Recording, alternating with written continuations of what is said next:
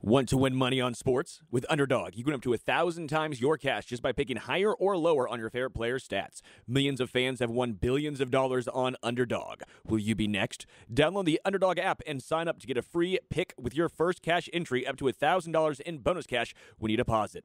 Must be 18 plus, 19 plus in Alabama, Nebraska, 19 plus in Colorado for some games, 21 plus in Massachusetts and Arizona, and present in a state where Underdog Fantasy operates. Terms apply. Void in Colorado. Concerned with your play? Call 1-800-GAMBLER or visit www.ncpgambling.org. Arizona 1-800-NEXT-STEP, 1-800-639-8783, or text NEXT STEP to 53342. New York, call the 24-7 Hope line at 1-877-8-HOPE-NY or text HOPE-NY 467-369. This is the Weekly Scramble, a place where we chat about life over a cold one or two. It's time to belly up to the pod with Mike Frattallone and your host, Chris Reuvers. Well, looky here. It's a Tuesday, and that means it's time for the weekly scramble. And that means it's me. Hi, Chris Reuvers, and that's Mike Frattallone with Frattallone's Hardware and Garden Stores. Hello, Michael. How you doing, Reuvers? I'm good. I'm good. Um, this is two weeks in a row. Look at us. Yeah, well, we always do the show. I know, I'm it's, kidding. You know, we've done a lot of weeks in a row in the past. You just are a traveler. I'm just sitting here working. I know. Look at me. Yeah, you're like a world traveler. Well, we were actually in discussion, uh, that being uh, the one that runs my house, and I'm the one that runs around my house. Copyright Sam Cassell back in the uh, mid early 2000s. But she says, "Oh, Fourth of July." I said, "No, no, no, no, No. no, no, no, no, no. We're good. We ain't going nowhere for Fourth of July." Isn't that a shame? I mean, America. You know what? needs though? your But you know what? He, yes, Yeah. in a sense, but also we have also n- not stayed home for the Mm-hmm. Fourth of July in a long time. I assume you have you live in an area with some young kids around there. Yes, and that I want to experience my new town. I've lived there just over a year. Sure. I want to experience that for the Fourth of Could July. Could you be the guy who invests in some M80s and blows some fingers off? I mean, you could do some something really cool. I may or may not be a guy who bought some driving in one of my trips across the country Really? and back, and I they've been sitting in my garage for over a year now. oh, you're kidding. Your Yeah, kids 'em don't. I bought them in Ohio a cou- like about a year ago. They're not fascinated by like what are those, Dad? Well, so here's what's cool. So the house that we purchased, inside of it, they had really, really nice handmade uh, cabinets inside the garage. Oh, nice. And I, when I saw those when we first looked at the house, I thought, well, they're gonna take those. So I didn't even expect them to be there. Oh, okay. once we closed on the house, but then we did the walkthrough, they were still there. and they were still there. And I Oh. went, well, wait, what? What? And I'm thinking, well, they're gonna they're gonna take those out, but no, they were they were left behind. So I thought, sweet. I get to anyway. So yeah, they've been sitting in there. That's why the kids haven't. Okay, so. I, I bought a house, you know, last year or sometime, right? And and it was a, a single old guy owned this house, and it has a little gym in it, and it had like a ton of workout equipment. I mean, a ton, like a treadmill, a stair stepper, like a full bench press machine. I mean, like a bunch of it. Yep. And I said the the realtor said, hey, he wants like ten thousand bucks for all that stuff, and I said, you know, no. Like I, I, you know, it's it's all used equipment, right? Mm-hmm, N- it mm-hmm, never mm-hmm. sells for ten thousand bucks. And I said, you know, tell him if he'd like to leave it there, that's fine. We'll take care of it. And if he doesn't, I, I get it. You know, he can take it out if Sure, he needs to. sure. And I was ninety nine percent sure that he was going to leave it there. Right, because why wouldn't he? He's he's got to move it. He's moving into a condo because he's you know he's in kind of the the the the the dusk of his life. Right, he doesn't need these this exercise equipment. So, and I actually saw it up on Craigslist. He was like wanting like twenty thousand bucks for all of it on Craigslist. I'm like, well, I know he's not selling it for twenty thousand bucks. He just he didn't understand the value of it. So we get to the house, do our final walkthrough. I walk down there. Everything is gone. no Every single he had a tanning bed. I mean, everything was gone. I thought, did he just out of spite eh, spend the time to get someone to come and take it all out?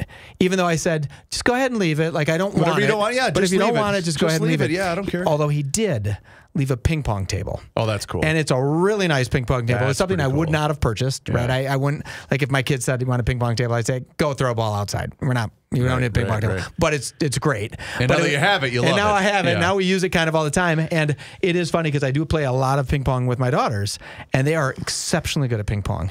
And we do like uh, this kind of.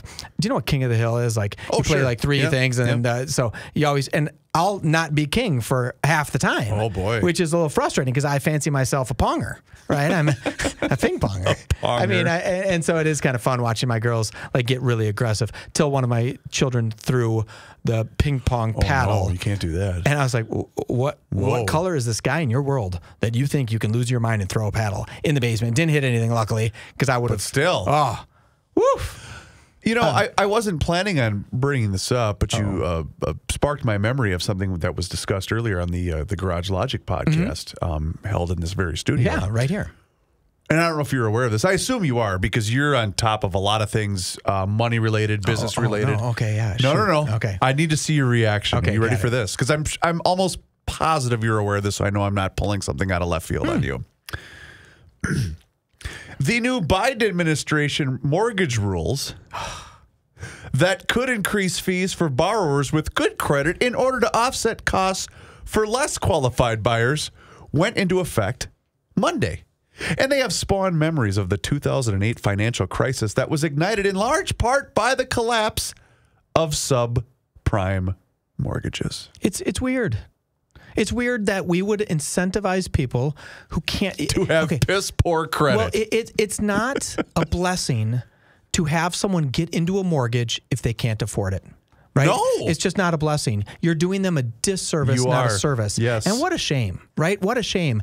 And but I did I do think this is a very visual example of a progressive tax code because we pay or i'm not going to say we i'm going to just let's say a, a person that Mm-hmm. that makes money already pays taxes for people who don't make money Yep. there's already that's already built in this is a very visual thing though because they're saying if you're good with money if you have money if you have a 20% down payment you have to pay extra and if you don't have all those things you get to to benefit from a lower interest rate right Yep. and it's super clear for people to see because every month on their mortgage statement, they'll see a Biden charge of $72 or $44, whatever it is. And so they're going to look for every single month they have that mortgage. And as long as this stands, and I don't actually know if it's going to stand, I don't know if it's going to happen. Uh, it's been met with a lot of criticism, uh, thankfully, on both sides a lot of criticism on, Yes. on both sides. But I don't know what the issue is. I, I am not for it because I, I'm not for it because I'm not against charging the, the higher income people more. That's not what I'm not against. What I'm against is you're not doing somebody a service. It's not a blessing No. to make someone barely afford a house. And I know homeownership is very important, right? I get that. Yep. But Easiest way to develop wealth. it, it, it, it's a it's a way to develop wealth, right? But if you don't have money, it's not a way to develop wealth. It's a way to Yep. oh crap, I can't afford this house. Why did I do this? What I now I'm really pinning myself in. I can't afford all this other stuff, maybe day to day stuff, and it's just a shame. But being so visual, people can see this and they're losing their minds, Mm-hmm. rightfully so, right? But our tax code is doing just the same thing, right? When Joe Soucheray writes these huge tax checks. and he's paying, you know, on, well, you got to look at it this way. State of Minnesota, roughly half the people don't pay taxes in the state of Minnesota, right? Oh, I was not aware of that. So you got what? Yeah, five million people. Yep. So if you pay a dollar in tax, you're paying the equivalent of two and a half million people, right? So you're like, okay, wait, I'm already paying more than two and a half million people in Minnesota if I pay one dollar in tax. But if you really get to the top end of the tax code, you're paying the equivalent of hundreds of thousands of more people. I mean, it's already it's it's but it's so obscure and so you know convoluted that you just don't get it. But this this little thing on mortgages is pissing people off.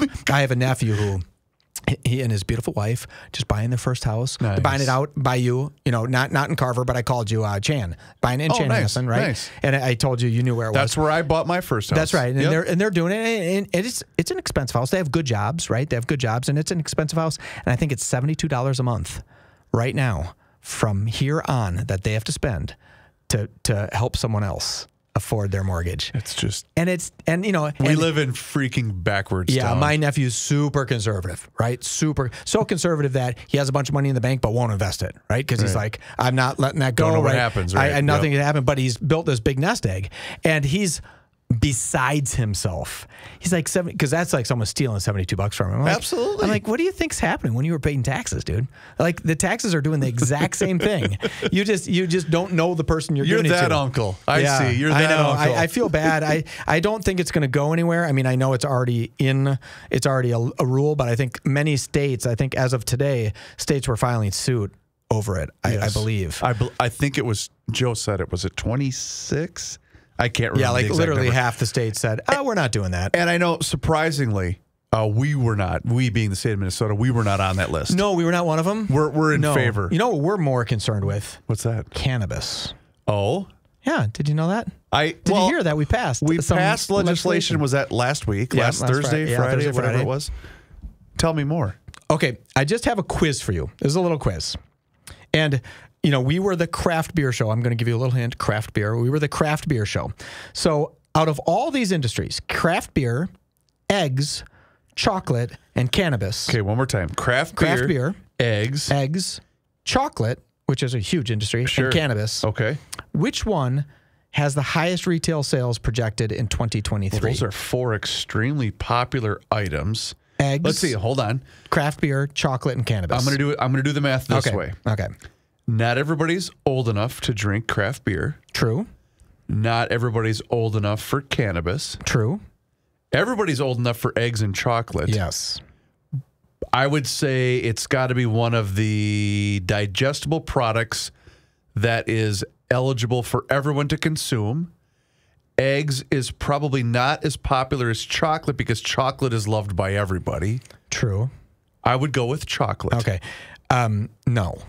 But good guess. Okay. Your reasoning was I used great. logic. I used a little logic. So cannabis retail sales are to surpass thirty-three and a half billion dollars. Holy crap. Thirty-three and a half billion in 2023 alone. That's just Oh, legal this is a cannabis. projection. This is a projection, but it's going to hit it. It did Sure. 20 million, Okay. 20 billion last year. Okay. Um, that's just legal cannabis, only legal cannabis. Wow. The craft beer industry is roughly 12 billion dollars, so it's almost three times bigger than craft beer. Now, some have suggested, and you correct me if I'm hmm. wrong, that because of the legalization of cannabis mm-hmm. in certain parts of this country has led to somewhat of a decline in alcohol consumption. I don't know if that's right. I, thought I read. 100% think that's true. I, I thought I read that I, somewhere. yeah, what you know, you're too high to get up and get yourself a next beer. Well, but no, you know, everyone's got a vice, and maybe they've just switched their vice because this product wasn't legal 12 months ago You know or, what I thought even was- 12 days ago. And when I was um, doing all my show prep, Yep.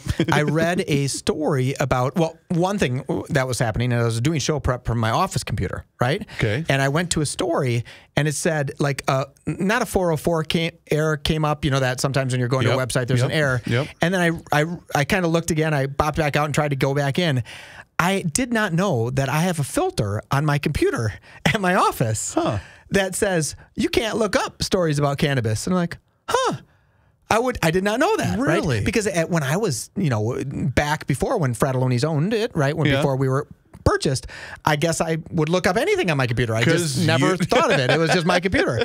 And so, and and it did take. I mean, it's been what 16, 17 months, and it took me a long time to bump into something that I couldn't see. Okay, Right. sure. And and really, it wasn't the story because it was a Fortune magazine story, but it, there was like a tie-in in the link to buy cannabis or something. So Ah. that's why they stopped us. Um, but I thought that was really kind of funny. So in this story, they were talking about how in Colorado that cannabis sales are actually down in 2023 Why is that? because they think during COVID people just stayed home and got high. But that kind of makes me feel a little bit good because that because I'm thinking to myself, okay, maybe this isn't going to be just a free for all and everybody's just going to get high all day long every day. But is that a so that's a dip relative the last 24 to 48 months worth of production. Yes. Right? Not Yep. not okay, in 1999 it was zero. Yeah. Yes. Well, Legally- yeah. legally Yeah. This, anyway. this is an eight percent dip from last year. Got it. right. Okay. Eight percent Okay. dip from last year. Gotcha. And you know, last year was a big year because we were still in COVID and so on. Sure. But um, it it it, it hardened me just a little bit because I I had that feeling. You know, when I look at my sweet kids, and I think I don't want you smoking pot. I just don't want you doing it. Sure. I, I just don't think it's the right thing for you to do. I don't think people are the best self uh, best selves when they're high. I have to share a funny story. Okay, when you're when but, you're done. But you see where I'm going. Yeah. And and so I thought I don't want this just to become legal in Minnesota and then just everybody's high all the time. But to see that Colorado had a pullback, meaning it just wasn't as big as it was the year before, made me think, okay, this is finite. It's not just infinite growth in the pot business. Yeah. Yeah. And I, you know, I'm a I'm a pretty much a live and let live guy. Yeah. I well, here's my inhaler. I I, I can't mm. smoke anything. No, but you could chew the gummies. Well, I could, yeah, but so I'm not a I'm not a candidate for certain, and I just I just choose not to. Yeah. But I but if you want to, you Mike go or it. you whoever, yeah, absolutely, knock yourself out. If you're legal, you have the money, go ahead. you Do do you Yeah. do you. So my son, I I can't remember if I've shared this this with you or not. I don't even think it'd be possible because I think this was after we did the show last week. So my son had to come with me to to work one day. I think it was last week, and uh, he just he comes in here, does his homework, Mm-hmm. sits in there. In fact, the, the the Twins are playing a day game, so he had the Twins game on. Yeah. He was in heaven. He didn't care. He, didn't care. So he didn't have to listen to all the bad words that Uncle Joe had to Sure. say during and before and after the show. So he sat in here, and then we we get our stuff done and uh, get all my things done, and off we head back home, right? And so this was the first time he had been to Minneapolis in a long time. Okay. You know, because you know where we live and where he goes to school Yeah, and where we nowhere close, yeah. No, yeah, we never go through the city anymore. Mm. Um, even though I come here every day. So he w- we we took a, a certain route where we drove by a uh, homeless encampment Oh. um, to get home, and and he stared at that because obviously that's unusual. That's Sure. something that is out of uh, out. It's not normal. yeah, it, it's definitely should not be normalized. I Right. guess. Okay. Yeah. So he he sees that, and of course he's a very inquisitive kid, and he harmlessly asks, "Hey, Dad, what's that?" And I said, "Well, what do you think it is, buddy?" And he said, "Well, it looks like a bunch of tents. To you know, is that a?" Not, he didn't say is it a campground. He goes, "Well, what is it?" And I said, "Well, you know, there's people that are homeless, you know," and uh, without getting into it, and I said, "Well, there's people that are homeless, bud. So uh, unfortunately, that's that's kind of where they live, uh, is you know, right off the street." And this is where the Chris Reuver School of Parenting oh, no. really takes off. And so then he he just kind of goes, huh. He just sits there and I can tell he's thinking about it. And then of course the question comes up. And and I love having open dialogue with my Mm. kids. I, I it's my favorite part of the day because we do it to to school every single morning. Yeah. It's fantastic. Because I love listening to where their minds go, right? Mm-hmm. And so then he goes, huh, well, wh- why is that? And I thought, okay, I can go one of two directions here. you could red pill him right now. I could, yeah, exactly. I could say, well, here, here's exactly why. Mm-hmm. And I and I thought, you know what? He's now 11. Mm-hmm. This is probably the good opportunity to, you know, we, we he and I have had some big boy conversations. Yeah, yeah. And so I'll say, well, bud, you know, sometimes life takes turns on you, and sometimes you know you, you may or may not make good decisions. Um, sometimes you can't. It's not really your fault, but Yeah, you just end up on hard illness, times. yeah, yeah. And I said, it all starts with smoking. Oh, did you really do that? oh gosh. It's smoking's the gateway drug that gets you to live in a tent. Oh, that poor kid. And I just went out of both. Oh, But I started there. That poor kid. And I could just in the rearview mirror, because he was sitting in the in the in the seat behind me, and I could see his eyes like just getting bigger and bigger. And I thought, yeah, that'll. He's going to see one of his teachers standing outside smoking a heater because he just dealt with 40 little brats during gym class. He's going to be having a just a, a, a one little dart outside. Mrs. And Smith, say, no! Why would you do I that? don't want you to live in a tent. in a tent down in Minneapolis. that is funny. You can only play that. Do play it now because in 12 years old, 13 years old, I mean, kids get pregnant at 13. I'm going to tell you. I mean, not boys, not boys. Well, but- not yet. Yeah, not yet. Wait till this state gets yeah, who knows? Maybe. Yeah, I mean, I mean, things happen at those ages. Yeah. You know, not to any of our kids that we know, but it does. Um, I have a wide-ranging variety of kids. with you know, the oldest one watches cartoons, the youngest one like. Hey, let's talk about the profit margin of that. I mean, really weird That's in depth funny. thing, Yeah. and they're all the same brightness. Yep. Just some just care It's to what have they a, s- choose to- yeah, they just want to have a softer life. I did. I did. Let me tell you the story. Let me Yep. regale you with the story. So, um, my my daughter said she'd like to go golfing, right? So her and some friends wanted to go golfing, and I was like, okay, well, you know, she's not a great golfer, but a couple of these other girls are on the golf team, but they're all on kind of the developing golf league, right? Okay. They're just learning how to play, and they're in ninth grade, right?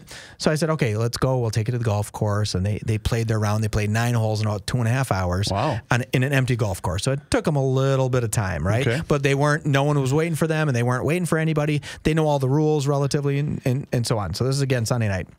After that, she said, "Hey, it's one of the girls' birthdays. I'd like to take them to dinner." I said, "Go ahead, you know, get them dinner and let's." So I come to pick them up at like nine fifteen on a Saturday night. Mm-hmm. Started at six o'clock, nine fifteen. Actually, started at like 5.30, 9.15, Right on the way home, my daughter turns to me and she goes, "I have an unbelievable amount of homework."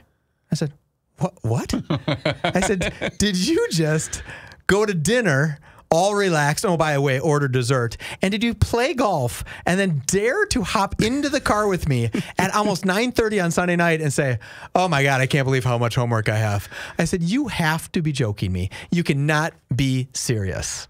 And sure enough, that's exactly what she did. So she got home, cranked out as much homework as she could, and then woke up the next morning as I jogged her out of bed. Boy, she sounds an awful lot like a guy I know. really? That is hundred percent you. Oh yeah, I think that would be. That's But 100% The only you. difference between her and I is when she said, "You know, I have a lot of homework." I'd say, "You know what? I don't care. I, don't, I have a lot of homework. I'm not doing it. I'm going to have to sweet talk my ninth grade teacher." Um, So, two things that I wanted to share with you, and you being, and I still call you this to this day, but you being Mr. St. Paul. I still, even though I do, no longer live in St. Paul, I still proclaim that I do. It's your city, right? Yeah. It's St. Paul is is your city. When I order something on Amazon, it still says my address is St. Paul. So There whatever. Yeah. So we have to talk about the wild. and here's why we have to talk about the wild. Because there was, I believe it was a Star Tribune uh, article that came out this morning, and I and I've been thinking about this for some time because, in my opinion, and I don't really care. I love I love watching Yeah, hockey. yeah. I don't give a damn. You win or lose. I knew they were not were not going to beat the Stars, but whatever. Did you know they were not going to beat them Friday night in that sixth game? I said it on the show. You know, Rookie's doing his rookie bit where he's saying, "Oh no, we have to believe in them." And I'm looking at him saying, "Dude, they're not." yeah, Joe was thinking that they were going to win that one and, And then I said, "No, they're going to lose Game Six. Yeah. I said that on the show on They Friday. did. Yeah. So they don't get nearly enough heat, in my opinion. They have lost in the first round.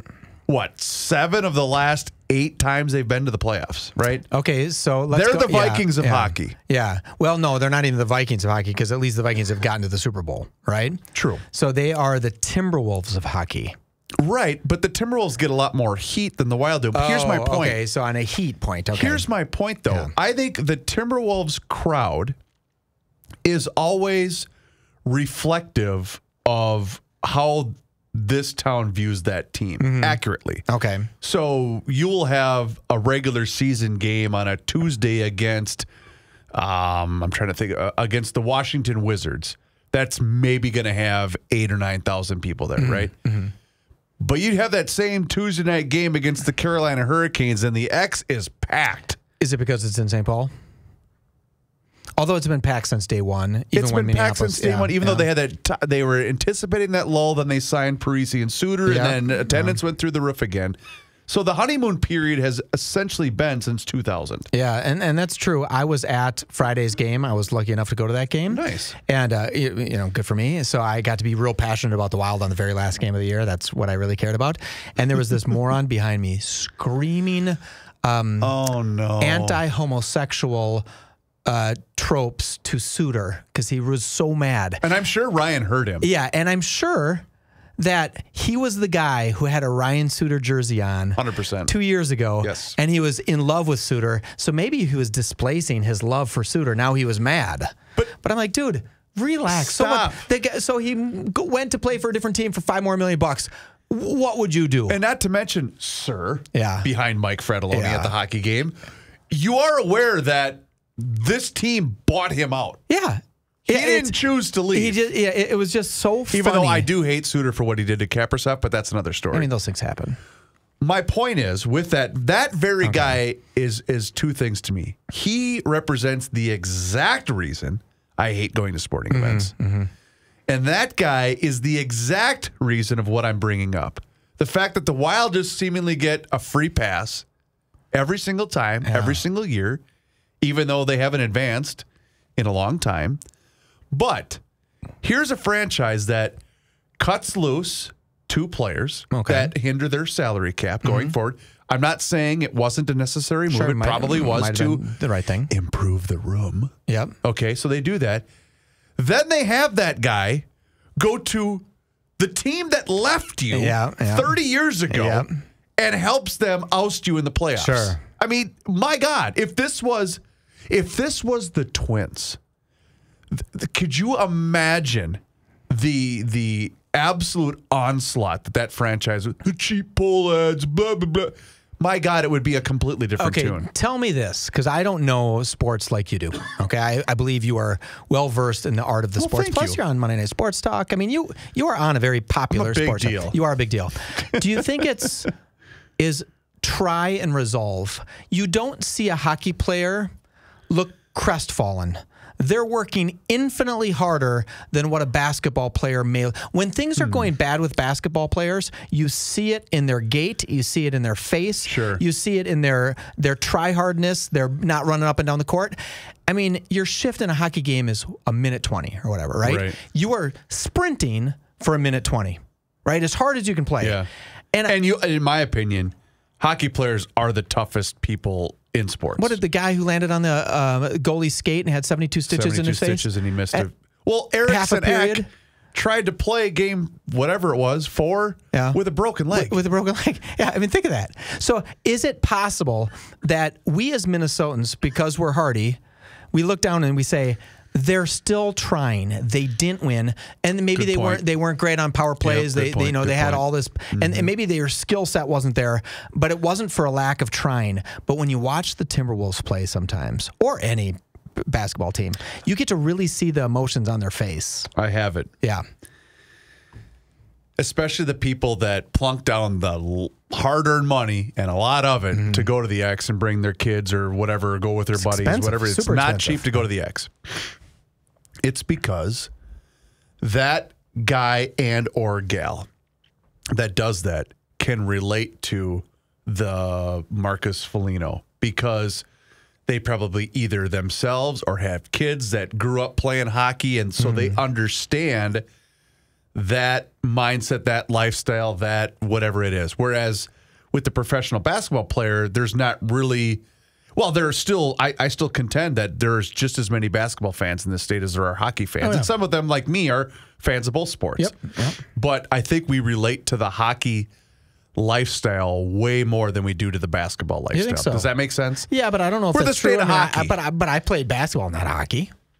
I mean, I think more kids play basketball than they do hockey, don't you think? Well, I yeah, just think we are the yeah, grander the, yeah. the grander statewide, there's way more people that play basketball than hockey. I would just think. just think of. Yeah, I mean, countrywide for sure. Just think that somebody playing in the NCAA tournament finished the tournament, won or did not win the the tournament, Okay. and then now they're playing on playoff hockey teams right now, Yeah. like college kids. Yep. Wouldn't that be weird?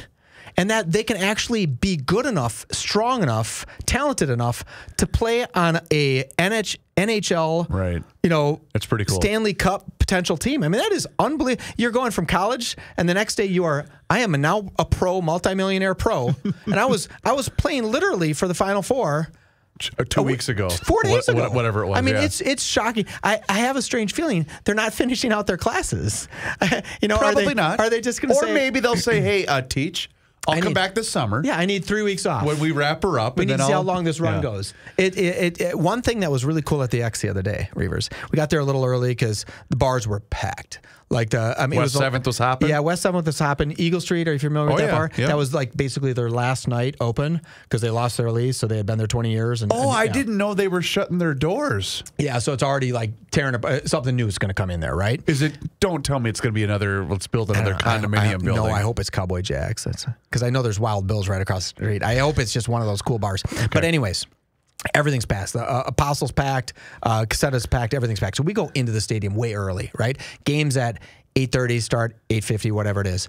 And I go up to order a beer, and I'm thinking, ah, why did we come in here? Why I don't want drink it? They said, hey, every drink's five bucks. I said, what? And he goes, happy hour till eight o'clock. Every drink is five dollars. Oh, there you go. And I looked around and I went, wait, this just became a really good idea to get in here early because that was actually super reasonable. And I was like, okay, that's kind of cool. My wife's wines were $5. It was kind of cool. I need to ask a business related question then. If if Eagle Street did they did they allow the lease to expire knowing that it wasn't going to be feasible for them to keep their doors open I anymore? do not know. Because here's what I'm thinking. Yeah. Okay, if you're Mr. Eagle Street. Yeah, Joe Castle. and and you decide, well, this is just isn't worth it for me anymore. Yep. What's going to make someone else think that you're basically on the only corner in the entire city Sure. that's got the amount of traffic, however many nights a week that there's stuff going on at the X? yep. If that person can't make it, what makes someone else think Well, that it could have just been they wanted to go a different way. I don't know the ins and outs of that, but you know, you have a lease. I'm just and, curious. And sometimes the landlord says, "Oh, you were paying ten thousand bucks a month. I'm making this number up, but now we want you to pay twenty thousand. and they might have just said, "Oh, okay, that's not worth it. That's now not we're not going to make anymore. anything." But the best part about it is, uh, my wife knows the owners of Eagle Street, so we go say hello, and then we f- and then I was kind of reminded that he has kids that go to my kids' school, Oh, right? okay. And then I said to one of my daughters, I said, "Hey, um, did you know that I was talking to this guy and he has kids?" And, and my youngest daughter says, "Yeah, Addie, my oldest daughter, used to date his son." I said, "Wait, time out. First of all." She's never been on a date in her life. Right. So who are you talking about? And this was way back in grade school, like when they were Oh, little. And I was like, were oh. boyfriend, girlfriend. And then I said, "You are not smart enough to mention that, so we could have gone there and maybe gotten free drinks." Or free rings. I mean, I mean, just anything. We could have done something, but you didn't mention that. Like, oh, by the way, although I was at someplace cool the other day, I uh, one of my daughter's friends they own they own a restaurant, and and I, I don't know them very well, and the restaurant was packed. And I was with my daughter, and I said, um, th- this couple was saying, no, you take that seat. And I'm like, absolutely not. You were here first, and they said, no, you know, we're the owners. And I said, oh, okay, well, if it's okay, I'll I'll take the seat. So we sit down, and then we all find out that we're all friends, and I didn't know that that my one of my daughters is best friends with their daughter, and then of course they won't accept any money. And you know it was i was like no you don't have to do that. It was very very sweet of them. But then i had to the, my waiter i said i didn't bring any cash. Could you go charge me something so i can I tip can you on my you, credit yeah. card? Because he goes i'm going to charge you a penny. And i said okay do whatever you got to do. But then i had to kind of explain because you know later on in the business they're going to say wait why do you have a one penny charge with Right. a big tip on it? Big tip. That was me big tipper. Just wanted to make sure you knew that. Just the big tip. almost almost 12% Um, funny you mentioned five dollar beers Yeah, for oh, happy no. hour. Oh, really? I got this from loyal listener Joe Schneider. Said Reuvers, Mike was light years ahead of Bud Light. Oh, he cannot be stumped. I saw this offer from a blog that I follow. I tried to claim the five dollars, but it seems they ran dry already. I'm not a Bud fan because it gives me gas, and there are about a million better beers in Minnesota alone. But I'd take a five buck for a, for a few beer farts. Cheers, Joe. they were offering via this blog Okay. anyway to Venmo you a five dollar Bud Light voucher. really Congrat! Take a bow and a victory that lap. was pretty cool. So Bud Light was saying, "Hey, we're going to give you a, a Venmo you a five dollar Bud Light voucher." Yes. that is really cool. and what's funny is I saw. Uh, Twenty six percent last week. You know, every week they come out with their new sales Okay, data. I forgot to ask you. Twenty six percent down last what week. What was still. your source? Because John Heidt and I argued about this, and I can't remember Twitter. if this was on the show or off the Twitter. show. But what, what was the source? Twitter. I, do you think I would ever pay it? First of all, I don't believe anything on Twitter, but I'll quote it. I'll, I'll quote it, right? But I think just about everywhere is showing Okay. there is like a weekly beer stat, like they report all the- their sales, and it was down 26% the last week. Um, yeah, you can find it. Let me.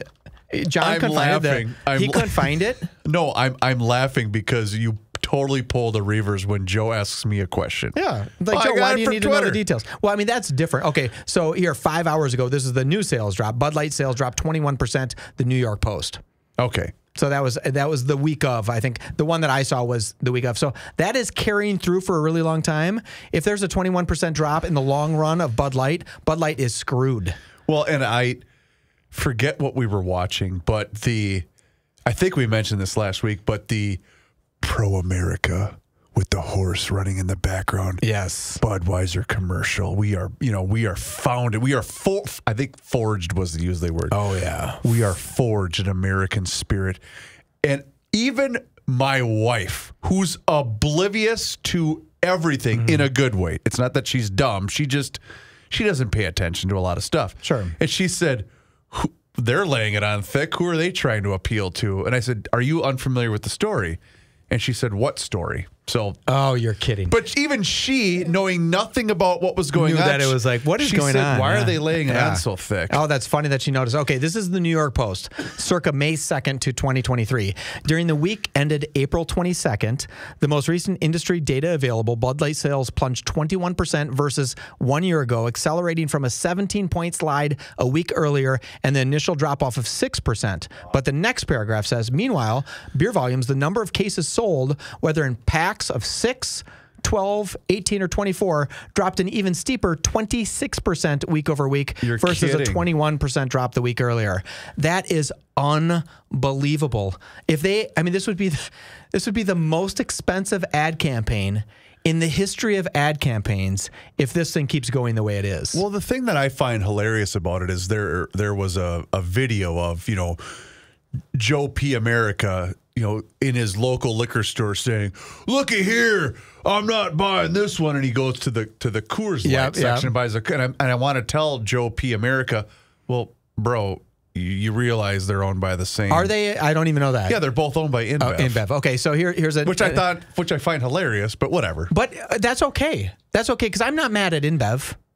Right? True. I'm mad at Bud Light really But even. they ultimately are the ones that are going to suffer, right? Yeah, yeah. So okay, but Bud Light remains the best-selling beer in the United States, with sales last year topping 4.8 billion. If you're down 20 percent, that's going to hurt. That's one billion dollars just for the fat mathers.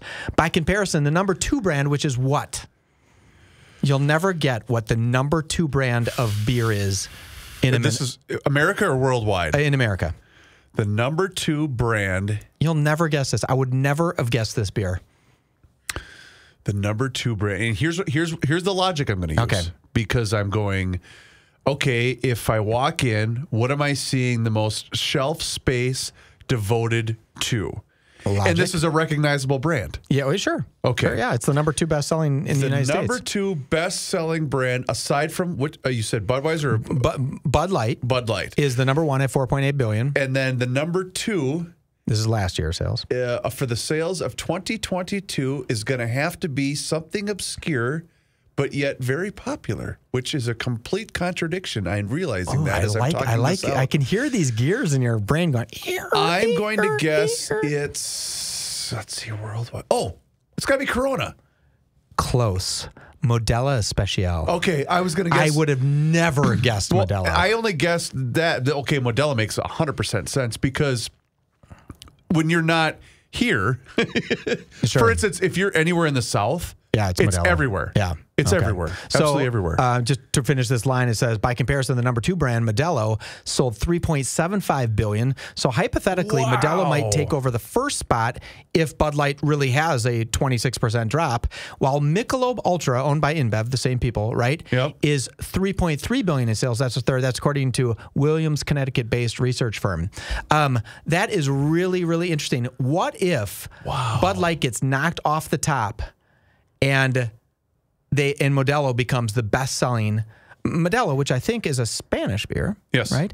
It becomes the number one best selling beer in America. How cool would that be? Won't be surprising at Yeah. all. Will it? I mean, not, not to me. Another line. I think it runs the risk of losing that number one position to, at the end of the calendar year to Modelo Especial Williams thinks. Wow, that's crazy. Wow, that as I read this, that is just crazy. Just because they wanted to do a little bit of a different marketing campaign, and this poor lady that um, is this Alyssa Heinerscheid, the the Bud Light marketing executive, that The one that got gassed. the one that got canned. Yeah. I mean, Melissa, it is kind of funny. I mean, I get that I could market to men and I could market to women, right? Maybe I could understand paint colors and I could market to both men and women.